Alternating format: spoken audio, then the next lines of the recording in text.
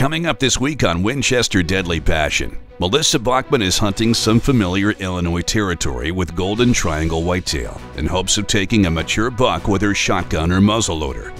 Year after year, Illinois is the one state that consistently produces big whitetails for Melissa, and she's hoping history will repeat itself.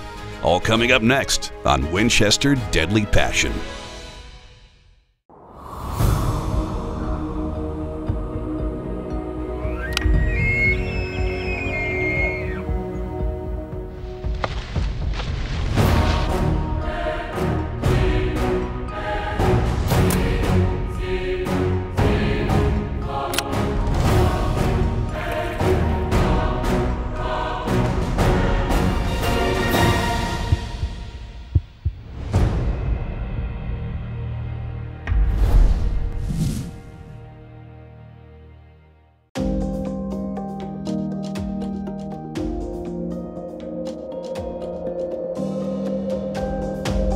Whitetails are one of the things that people across the country, well, everybody loves hunting them. And for me, I grew up hunting whitetails. And really, when I look back at things that I hope to accomplish when I got older, well, shooting a big buck, well, that was always on the list. Not that that's the biggest thing by any stretch, but it's something I always dreamed about. And it's something that really shows how your hard work can pay off. Because yes, anybody can go out and shoot a deer, but to really wait and be patient, it's a sense of accomplishment when it all comes together.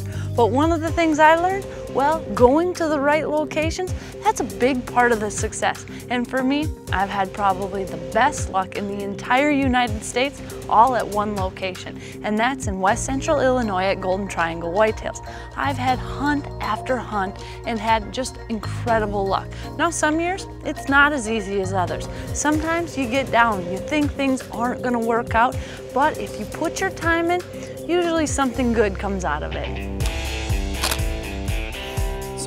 Right on the middle. Oh God. Good deal.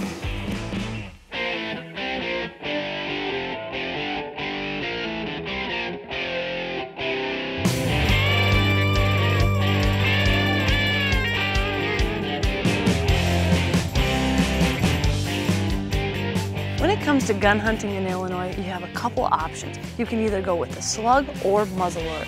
But this year, well, I was headed out for the four-day slug season to start things off.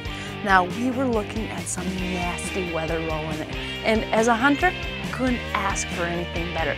Snowstorms on their way, and I was all smiles. Now, I knew I had a pretty comfortable gun box to climb into, and I also knew that that weather coming in hopefully would get the deer up and moving, and once the snow hit, hopefully every deer in the area would be hitting the food plots. Now one of the things with having a big front come in, well usually the winds pick up and that's exactly what was happening. When that wind picks up, the deer get extremely spooky. We had several big groups of deer out on the field and then suddenly, for no reason, they'd be hightailing it out of there and they were on their way out. It was really making it a little bit frustrating because there was no reason these big groups needed to be taking off and I was afraid every time they took off, well maybe a big buck was just on his way out. But that's just the way it goes. So as we were sitting there, well, the field had finally cleared, the snow was starting to come in, and you know what? It wasn't long from when those snowflakes started falling that we started seeing deer coming back up. At first, there were just a few does trickling back out onto the field. Then I looked up and spotted a pretty nice buck walking right on the edge. Now, he looked a little bit thin, not real heavy, but he had a really cool kicker on his left beam and looked like actually one of the bucks I had shot before, just a younger version. Well, I decided to let him walk, but the thing that was making me really happy, well, with this snow falling, this was midday and this buck was up and on his feet. Hopefully, this would be a good sign for what was to come. Now finally, we had a pretty big group of deer out on the field. The snow was coming down. Everything's good. Evening's coming close. Looks like we've got just the perfect field of decoys. And then suddenly, something must have spooked one deer. They kind of started going through, going through, the entire field ended up spooking up for absolutely no apparent reason. But it didn't take long, and actually, a nice buck stepped out extremely close to our blind. Now it was already getting pretty dark, and I couldn't quite tell how good he was.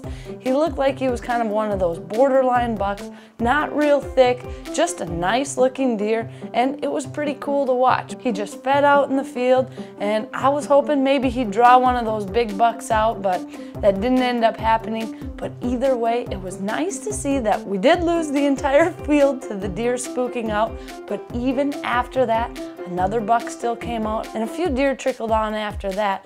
But overall, it was a pretty amazing sit.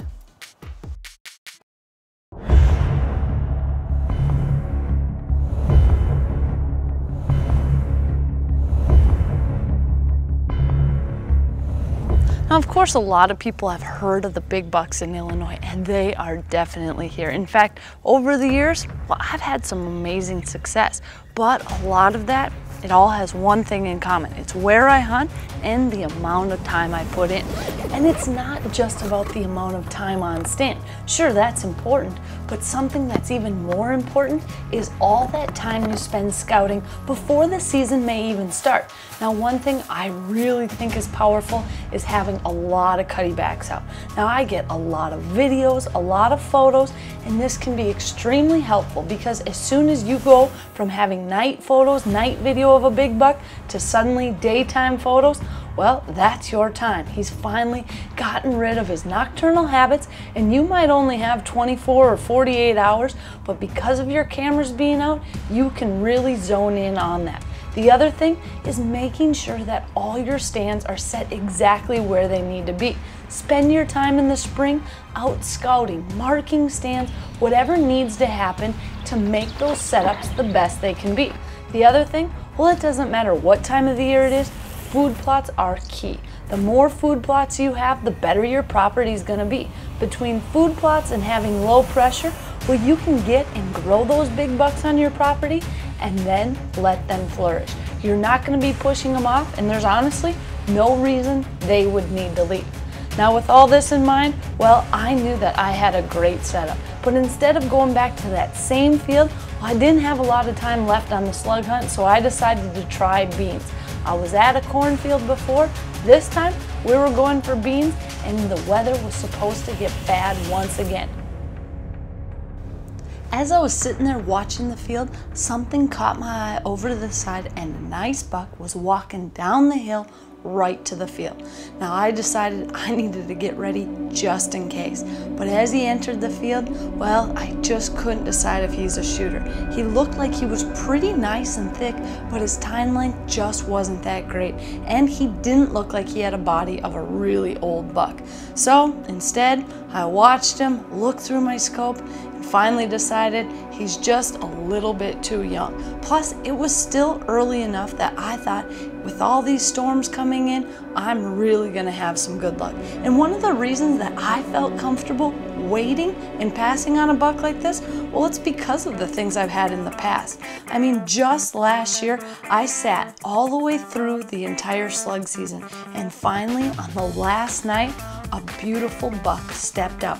Now all the other deer had left the field that night and this buck stepped out on his own, just a beautiful tall tine deer and I made a great shot within a 100 yards and I found this buck and he was absolutely beautiful. A really nice buck and a buck showing that if you wait till the end, well, you might be rewarded. So instead of squeezing the trigger, I decided to wait and see how it went. Now, unfortunately, well, it ended up just deer coming and going and no big bucks. In fact, that was the end of the season and I realized, well, my slug tag was over. But the good news is, next weekend, I was gonna be able to come back to the same area just with my muzzleloader. And the best part is, well, there looked to be some giant snowstorms on the way.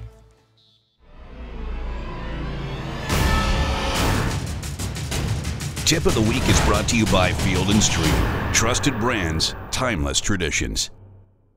Once you purchase an ATV or UTV, of course you want to get as much use out of it as possible. Now one way that you can use it year round, well it's by putting different accessories on it. Now Moose Utility, they have a wide variety of accessories. Everything from things to do with food plots, to snow removal, winches, everything you could possibly need. Now the one easy way to do this is you simply go to their website, enter the make, model, and year of your ATV or UTV, and you can find everything that's made for yours. Now on mine, I've gotten all sorts of nice accessories to make it more manageable in the field. I also put on different wheels and tires, makes it look a little bit better, and it's gonna make it easier in the mud, the snow, and the sand. And when you're out in the middle of nowhere, well, you want every advantage possible. So if you check them out, you might find some great accessories that can change your ATV or UTV into a year-round machine. Winchester Deadly Passion is presented by Cuddeback Digital, Hard Hitting Easton Arrows, Hunter's Safety System, Winchester Repeating Arms, Swarovski Optic, Scent Killer Gold with Hunt Dry technology. Apply it, dry it, and go hunt. Rage Broadheads, leading the evolution in lethal technology. And Golden Triangle Whitetail. Your hunt of a lifetime awaits. Well, it's opening morning of muzzleloader season, and I was hoping to get my deer with a slug, but no such luck. The good thing is, well, the weather is supposed to get extremely cold. We're expecting to have a big snowstorm, so I'm hoping that's gonna get the deer moving, especially considering I've got a huge bean field and a huge cornfield to sit on. So what better place to be in a snowstorm? So I'm gonna get out there and see what Illinois has to offer this year.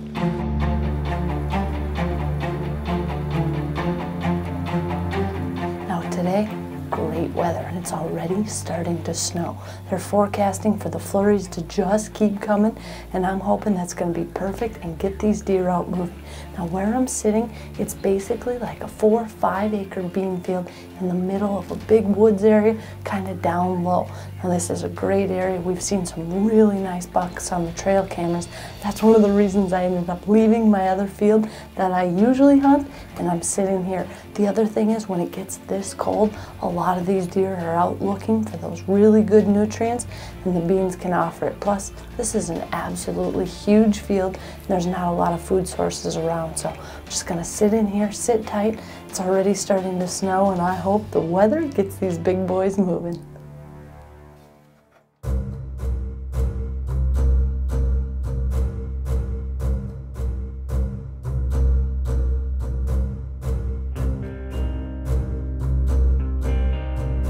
Now in my experience, when the temps drop and the weather gets cold, a lot of these deer like going to beans. It's a great protein for them and it'll keep them warm and keep them fat. That's what they need at this point in the season. So we decided to sit in a gun box over this huge bean field. Now the weather, well, the weathermen for once, they were right. It started really coming down, the snow was coming through, and the coolest part is the deer were up and moving. It was still early and we literally had deer coming in on every end of this bean field. The deer were covered in snow, but the one thing they wanted were beans and I was sitting right in the middle of them all. I couldn't have asked for any better weather, but unfortunately, didn't cause the big buck in the area to get up on his feet and come to the beans, at least while I was there. It was a great experience seeing all those deer and it was really exciting. And the nicest part is, well, I was in a pretty nice gun box staying out of the snow. But it just wasn't happening in this situation. I knew the deer were there. I was in what I would consider the perfect place with the perfect weather, and the big buck just didn't show.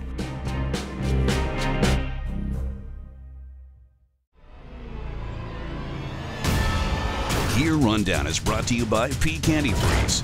Right with your car and wallet. Peak Run True.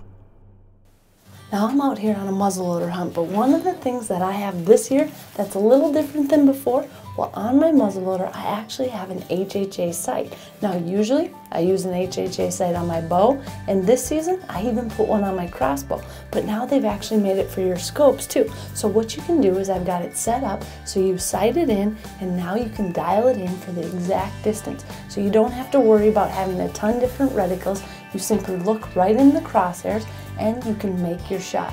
Now muzzle loaders, they're extremely effective for some long range shooting, but you wanna make sure you have your drop all accounted for, and with this, it's no problem. Now this big field I'm sitting on, with a muzzle loader, I'm pretty sure I could shoot any area of this field. Well, that is, if I don't get buck fever and start shaking too much, but I'll have my shooting sticks in here, and hopefully, anything that steps out, if it's big enough, we can take the shot. Winchester Deadly Passion is presented by Winchester, the American legend. Mathews, catch us if you can. Field and Stream, where traditions begin.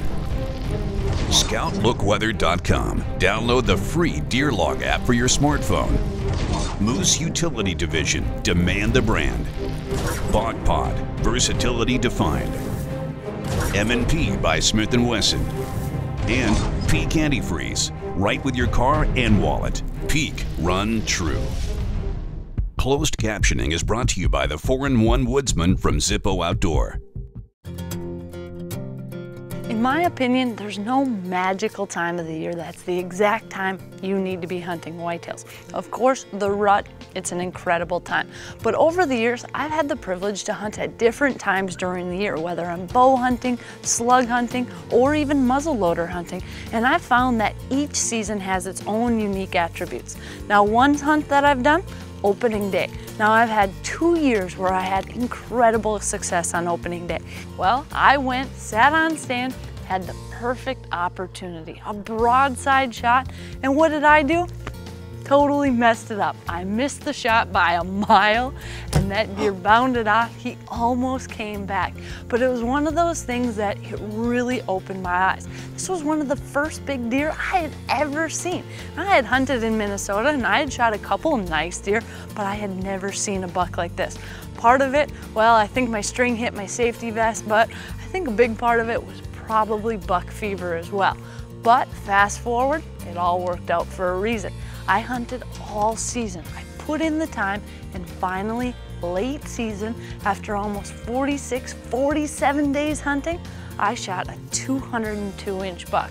Now this, this was a little luck and a little bit of my opportunity. Now, the luck came from a pack of coyotes chasing it right to me. The opportunity, it was an awful day. It was nasty weather and I went out hunting. I really didn't feel like it. I didn't think things were gonna work out and I put in the time and it all worked out. And you can't get ahead if you're back at camp and you don't go out. Half of it is just being there. Sometimes a little luck never hurts and I will take luck any day, especially when it comes to a 202 inch deer. Now, of course, not every person's gonna get a crack at a 200 inch deer. In fact, I may never get a chance like that again. But the one thing that you can learn from this is the fact that when you hunt late season, it can be some of the best hunting out there. And a lot of people think that, well, it's after the rut, all the big bucks have been shot. And yes, of course, some of the deer have been shot. But you've got those bigger bucks that are run down from the rut. They've lost nearly 20% of their body weight and they are looking for food. The weather turns cold and if they don't eat, they won't survive. And that's when you really can get a crack at those big deer.